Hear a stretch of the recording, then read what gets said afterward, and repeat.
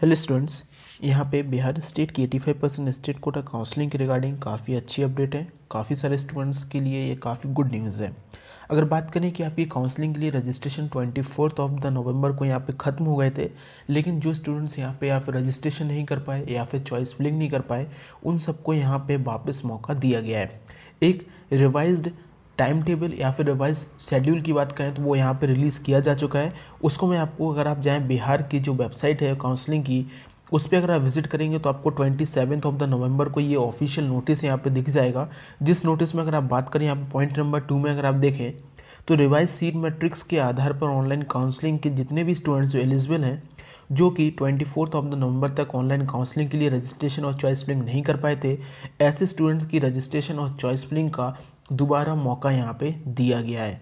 वो स्टूडेंट्स जिन्होंने twenty fourth of the November तक रजिस्ट्रेशन चॉइस फिलिंग सब कुछ कर ली है, वो अपनी पासवर्ड्स के साथ लॉगिन करके अगर चॉइस में वापस कोई चेंजेस करना चाहते हैं तो वो चॉइस में कोई भी चेंजेस यहाँ पे कर सकते हैं।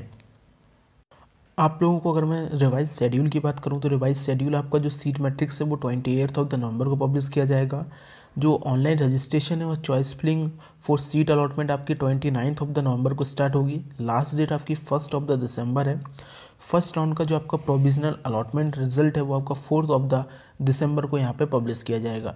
अगर आप सीट अपग्रेडेशन पर डालना चाहते हैं अगर आप कुछ भी करना चाहते हैं तो स्लॉट बुक करना चाहते हैं डॉक्यूमेंट वेरिफिकेशन के लिए तो फोर्थ दिसंबर से लेकर एट दिसंबर तक का आपको यहाँ पे टाइम है। डॉक्यूमेंट वेरिफिकेशन और एडमिशन के लिए आपको फिफ्थ ऑफ़ द दिसंबर से लेकर नाइन्थ ऑफ़ द दिसंबर तक का टाइम दिया गया है। देन आपकी राउंड टू का जो फिर से शेड्यूल यहाँ पे पूरा दे दिया गया है, आप वहाँ पे भी उसको देख सकते हैं।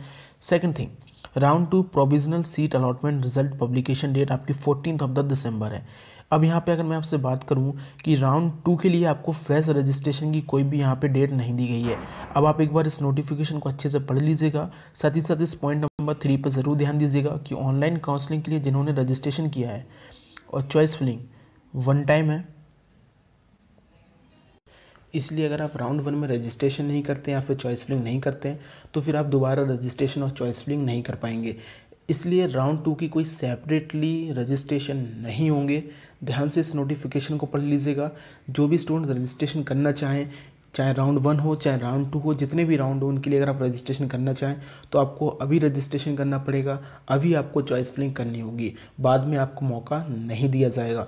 तो आप इस चीज़ को ज़रूर देखें। Thank you